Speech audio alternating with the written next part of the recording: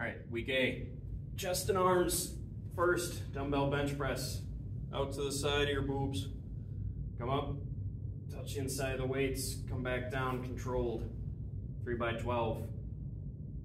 Do not let it come out here. You're gonna end up tearing your chest muscles. Come right tight down to your body. Three by 12. Chest fly, three by 12. Make sure the chair is set for a height where your arms are straight out in front of your pecs, not lower than, not up above, straight out in front. 3 by 12. Then bicep curl, 3 by 8, 8 each arm, so 1, 1. You return them to a straight on position. We curl up in front of us like this. Do not use your back to do it. If you need your back, it's too much weight. Go lower, you'll move up a different day. Tricep pulley. Wait, pause.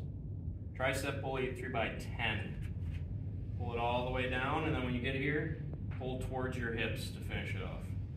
Make sure it's set to a good weight that you can pull down and extend towards your hips.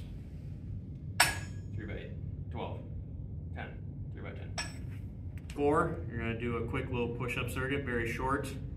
Five regular push-ups, right here, Five of those.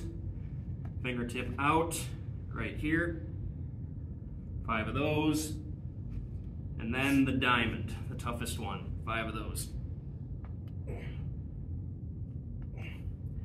You're gonna do all three of them, and that counts as one set. So you'll do each of them 15 times.